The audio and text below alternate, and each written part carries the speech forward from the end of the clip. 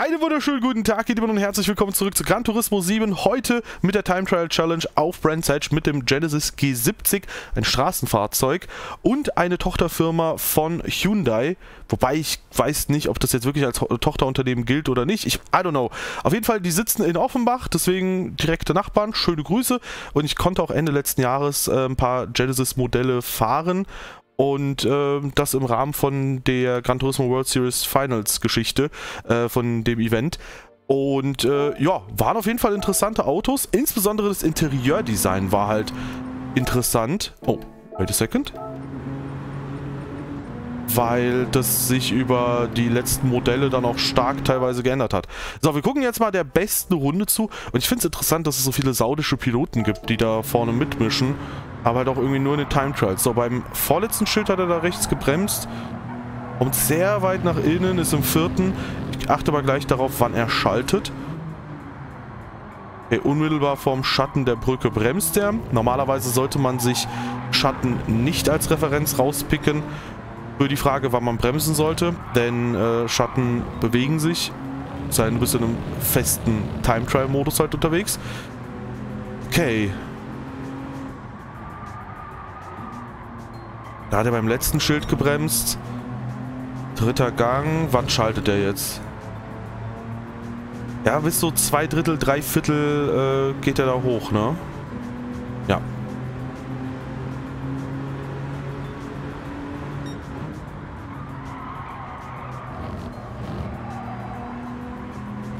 Oh, das sieht sehr, sehr schön aus, wie der da durchkommt. Heieiei.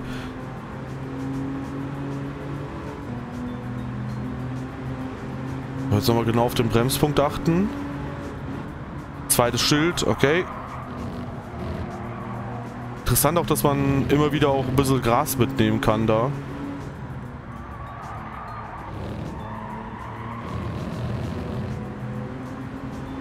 Das war eng. Eieiei. Oh. Alter. Ach du Schreck. Okay, das ist alles... Ganz, ganz wild. Heieieiei. So, hier schätze ich dann auch nochmal... Ich habe überlegt, äh, eher das letzte oder das vorletzte Schild, aber ich habe gedacht, das eine ist viel zu früh, das andere viel zu spät und so kam es auch. Ja, interessante Runde. Also, wir gucken mal, wie wir das umsetzen können und an der Stelle natürlich nochmal der Hinweis, wenn ihr selbst äh, euch die Rundenzeiten anschauen wollt, Ihr seid äh, dann hier in dieser globalen Rangliste richtig und da kommt ihr hin, wenn ihr hier auf äh, Qualifying Zeitrangliste schaut, nicht auf mit einem vorgegebenen Fahrzeug teilnehmen. Wir nehmen mal Bond Silver, das dürfte sicher irgendwie ganz interessant sein. Die Farbe klingt auf jeden Fall auch nach äh, schnellem Auto. So, was Bond immer fährt, ne? Alright, gucken wir mal, wie das jetzt ausschaut. Also,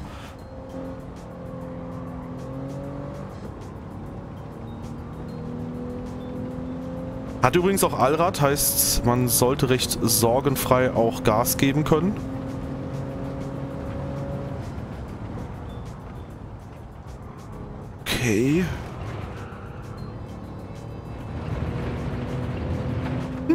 Ging gut.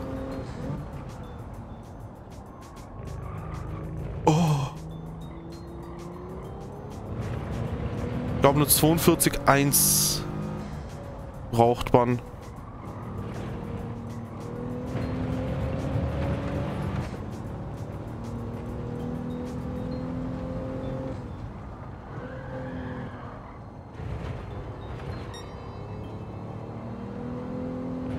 Ja, ist halt eine ziemliche Familienkutsche, ne?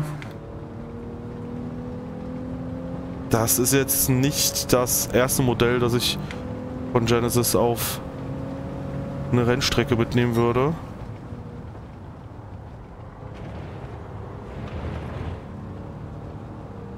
Äh, bei Genesis war auch das erste Mal, dass ich dann ein E-Auto gefahren bin. Das fand ich dann doch schon sehr cool. Mir missfällt dann dieses ewige Hin und Her mit, hey, E-Autos sind toll, E-Autos sind Schrott. Wobei, ich habe nichts dagegen, wenn jemand einfach etwas toll findet. Ich habe einfach nur ein Problem damit, wenn Leute einfach sagen, ja, das ist Schrott und ich werde jetzt schon wieder eine E-Auto-Diskussion in den Kommentaren angestoßen haben, obwohl ich das eigentlich gar nicht will. Okay, das wäre jetzt wild, wenn ich es beim First Try schaffe. Tue ich aber nicht. Ah, ja, ich habe mir gedacht, ey, gerade eben, ich habe denselben Bremspunkt gewählt und das Auto kam so stark quer. Wahrscheinlich habe ich, das war zumindest mein Gedankenprozess, einfach zu viel gebremst und äh, bin nicht sanft genug rangegangen.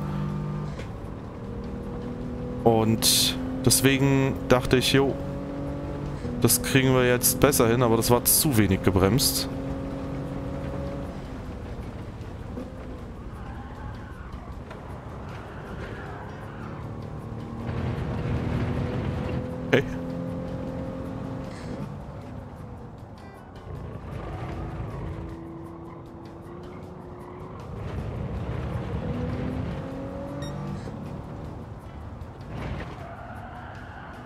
Nein, nein, nein.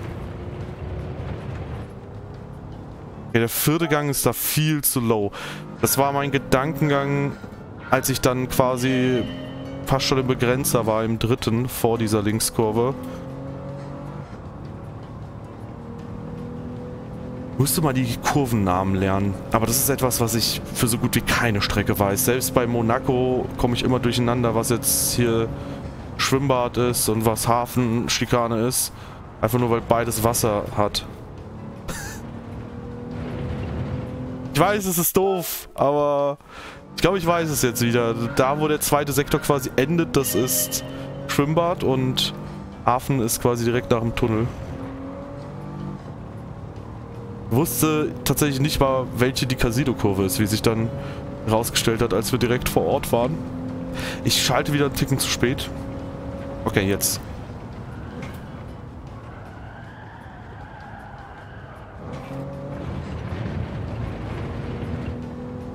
Fokus.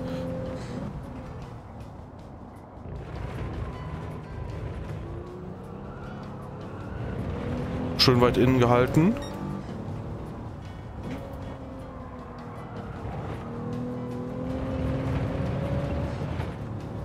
Okay, das ist bis jetzt eine Runde, die mir ganz gut zusagt.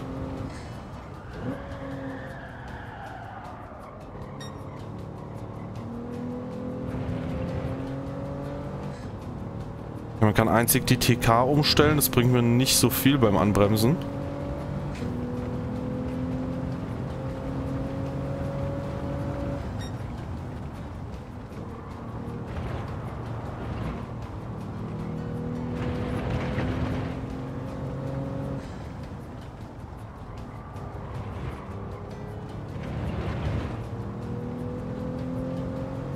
Ja, das könnte jetzt aber eine sehr gute Runde werden, ne?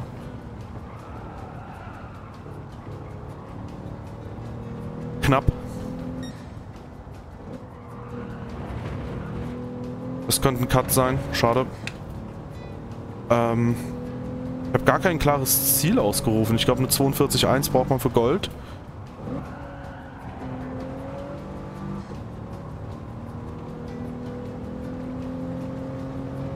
Gerade, dass ich mir die Gänge vielleicht nicht so gut gemerkt habe.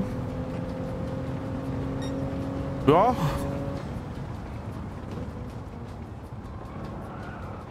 Gerade so im Goldbereich.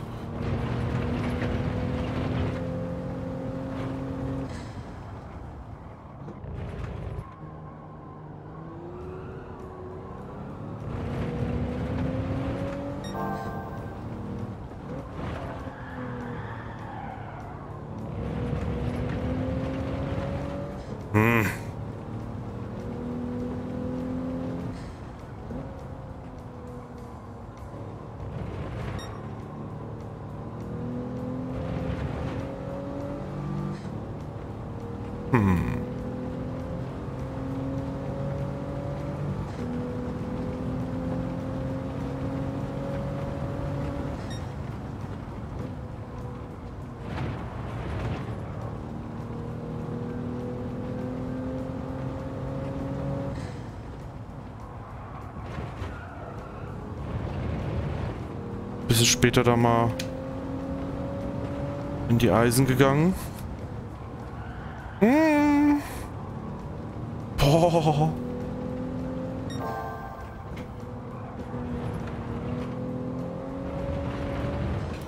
Bisschen mehr Speed durchgenommen. Das sieht schon mal ganz gut aus. Ich sag mal so mit 41... 5 oder so wäre ich recht happy. Irgendein 41er im so mittleren Bereich. Aber äh, erstmal müssen wir natürlich in den 41er Bereich kommen. Also eine 6 oder so wäre jetzt auch voll in Ordnung, aber... Sagen wir mal 41 und dann muss nach dem Komma die erste Stelle eine 5 sein. Das ja doch, glaube ich, ein schönes Ziel, oder? Gucken wir mal.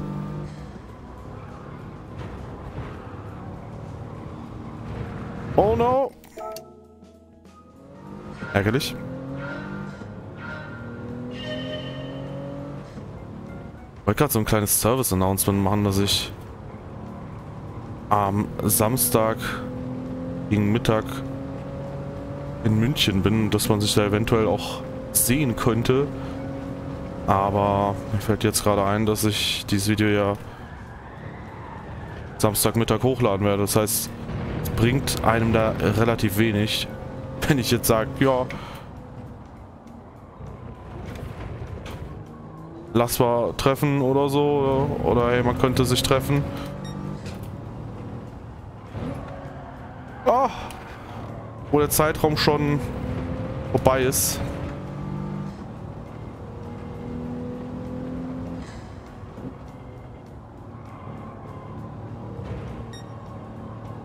Stephen Hawking hat mal was ähnliches gemacht, allerdings wohl wissentlich, was er tut, im Gegensatz zu mir.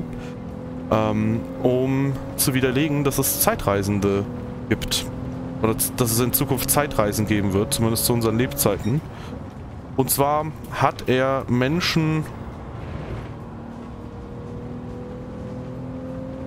eine Geburtstagseinladung geschickt.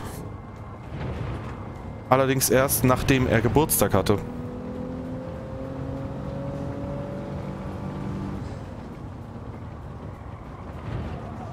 Also wenn ich sowas gemacht hätte, würde es heißen, ja Dave, du bist doch wieder vergesslich, du bist doch lost. Aber bei Stephen Hawking ist es, äh, Stephen Hawking ist es wieder Genialität, ne? Ja, ja. Oder war. So.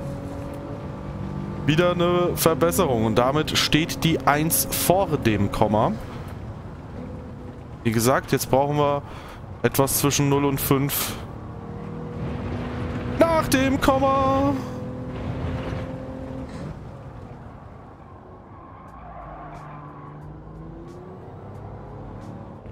Boah, ey, ich glaube, wenn du da innen auf den Curb kommst, hast du deine Linie noch mal einen Ticken mehr optimiert. Ich weiß nicht, ob die Hotlap da innen auf den Curb gefahren ist oder nicht. Die Hotlap von dem Dude, dem wir gerade zugeschaut haben. Aber ich habe so das dumpfe Gefühl, bist du da innen auf dem Körb, ist es deutlich angenehmer, diese Kurve zu erwischen. Ich rede jetzt nicht von dieser Kurve, sondern von dieser hier.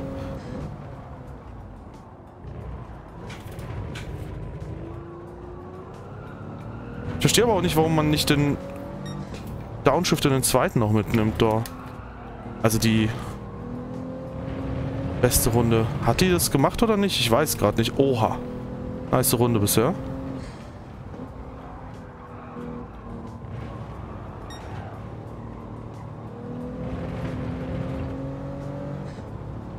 Das sieht schon mal ganz gut aus.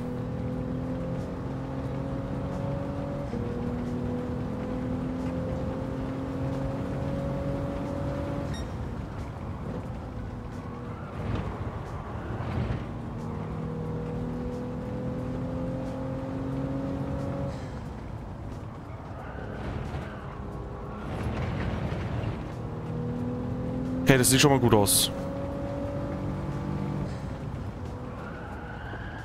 Oh!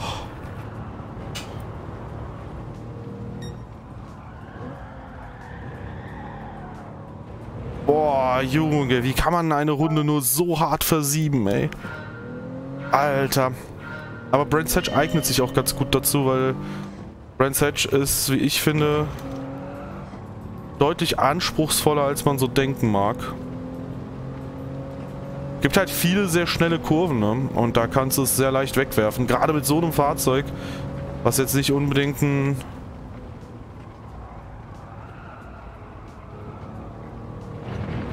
Leichtgewicht ist wie ein GT3-Auto und nicht dieselbe Aero hat und so. Da kann schnell ein bisschen was schief gehen.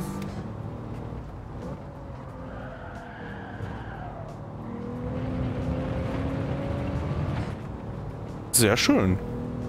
Immerhin besser, wenn auch nicht optimal.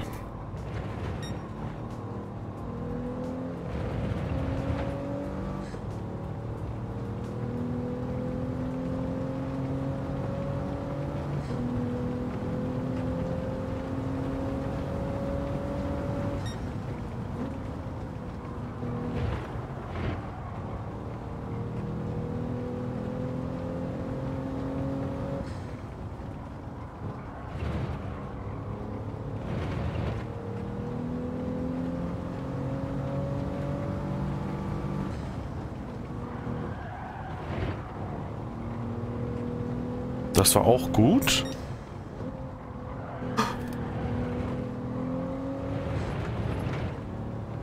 Ich frage mich, ob ich in der letzten Kurve überhaupt noch in den dritten gehen muss oder nicht.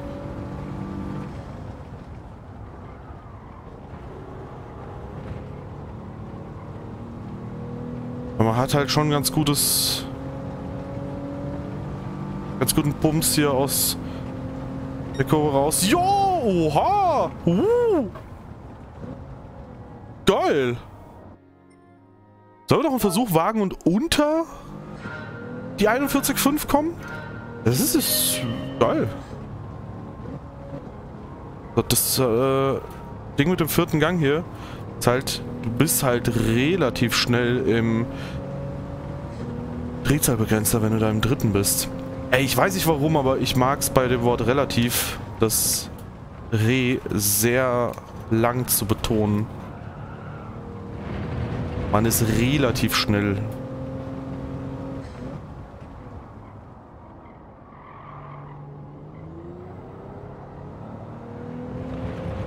Oha.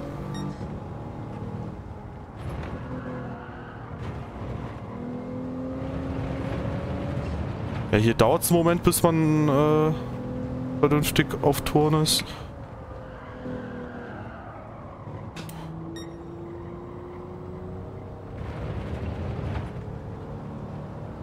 Das geht voll. Wait a second. Ich kann ja mit dem untertouriger fahren, als ich dachte. Hm.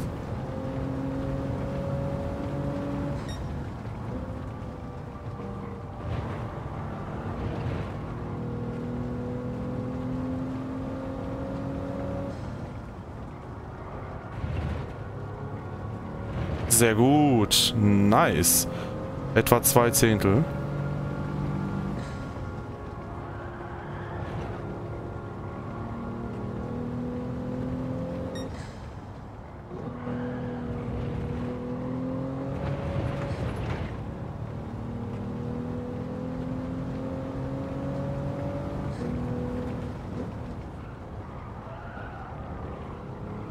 Die Kurve war gerade nicht optimal, deswegen habe ich mir gedacht, ey, da geht zeitlich noch ein bisschen was. Und da geht zeitlich anscheinend noch eine Menge.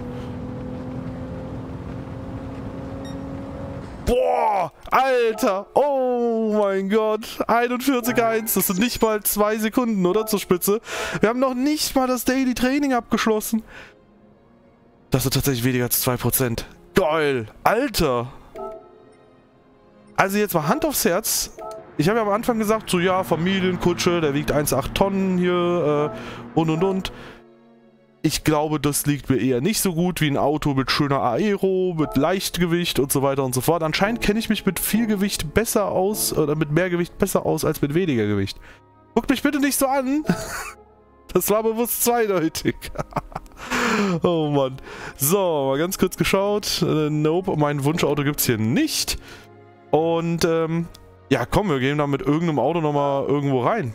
Wollen wir Brands Hatch nehmen oder so? Ich habe keine Ahnung. Ich muss eigentlich auch gar nicht zur Autoauswahl gehen, fällt mir gerade ein. Kann es sein, dass die Ladezeiten einen Ticken länger geworden sind irgendwann? Hm. Ja, was ich auf, äh, euch auf jeden Fall auch nahelegen kann, checkt gerne auch mal ähm, beim letzten Video. Ah ne, warte, das ist Goodwood. Aha, da haben wir was. Sunday Cup 500, let's go. Irgendwas zum Entspannen. Nämlich den 512 BB, let's go. Ähm, ja, äh, was ich euch nahelegen kann, checkt auf jeden Fall äh, das letzte Video aus. Da sind wir mit den äh, Le Mans Fahrzeugen gefahren von, mit dem Le Mans Fahrzeug von Toyota. Ähm, und zwar das olympische Event. Also 512 BB ist halt crazy, was seine Wertstabilität angeht. Der kostet nach wie vor eine halbe Mio. Ich habe ja so ein bisschen die Preise im Kopf, äh, weil ich da immer wieder mal geschaut habe. Was auf jeden Fall richtig, richtig heftig ist, ist, dass der Ferrari 512M, den ich früher eigentlich sogar schöner fand als den Standard 512 Testarossa, mittlerweile nicht mehr, alles gut, ähm, dass ich den, äh, dass der Ferrari 512M ultimativ teuer ist. Ähm, nicht, weil er schön ist oder sonst was. Also ich glaube, dass man den jetzt nicht so dramatisch äh, ästhetisch findet. Aber das Fahrzeug ist halt quasi das letzte Auto in dieser 512 äh, Reihe gewesen.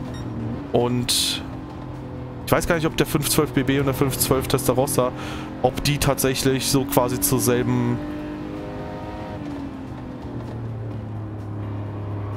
Baureihe dann noch zählen. Oder ob sich nicht dann noch einiges verändert hat. Ein 458 und 488 haben sich ja auch nochmal verändert, die Fahrzeuge. Aber äh, so oder so, sie haben beide 5 Liter V12 und der 512M, um auf den nochmal zurückzukommen, das war halt der letzte der Baureihe. Und der wurde äh, sehr selten gebaut, relativ selten. Da habe ich das eh jetzt wieder lang gezogen. Ähm, und tatsächlich, uiuiuiui, ui, ui, ui, und tatsächlich ist durch eben diese Seltenheit, ich glaube 101 Fahrzeuge von dem gibt es insgesamt nur. Kann auch sein, dass ich mich gerade komplett mit den Zahlen verschätze, aber dadurch ist das Fahrzeug halt richtig selten. Ja, wenn du nochmal guckst, was so ein Testarossa kostet und was so ein äh, 512M kostet, dann ist das schon krass. Muss aber übrigens auch sagen, ich ärgere mich sehr, dass ich äh, März 22, wo ich mir meinen Opel Corsa für ein Jahr geholt habe. Das war ein Auto-Abo. Ähm, dass ich da nicht tatsächlich zu einem Ferrari Testarossa gegriffen habe. Gut, was heißt, ich ärgere mich sehr, ne? Das ist... Äh, so richtig ärgern tue ich mich nicht. Aber... Damals habe ich mich gewundert, boah, der Testarossa, den gibt es ja für gute 100.000 Euro.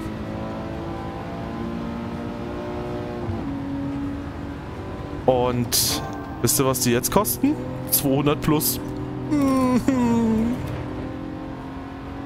Mano, das heißt, die wurden alle verkauft innerhalb von einem Jahr.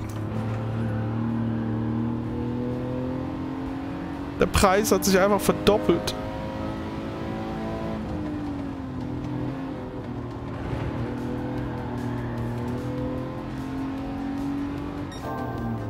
Krass, aber mit dem Ferrari 512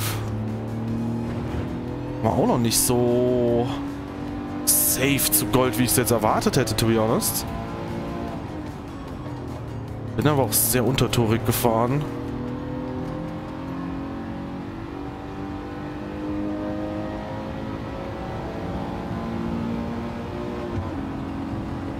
No! Alter. Okay, ärgerlich. 27.000 Sekunden. Ja, aber äh, manchmal muss man halt äh, Glück mit Timing haben, wenn man sich so ein Auto holt. Aber ganz ehrlich, ich äh, wäre da total blauäugig in äh, Testarossa-Kauf reingegangen. Und man hätte nicht gewusst, was man mit diesem Auto machen soll. Ja, äh, wo stellst du die Kiste allein schon ab? Vor die Haustür? Naja, sollte man vielleicht nicht unbedingt machen. Aber was wir machen sollten, ist, das Roulette-Ticket zu öffnen. So, gucken wir mal, was erwartet uns hier schönes Schmuckes in diesem Roulette-Ticket.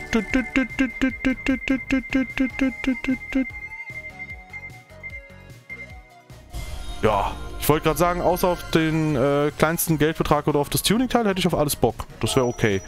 Ja, das sind 10.000 Credits. Stocken so ein bisschen ähm, das äh, Portemonnaie auf.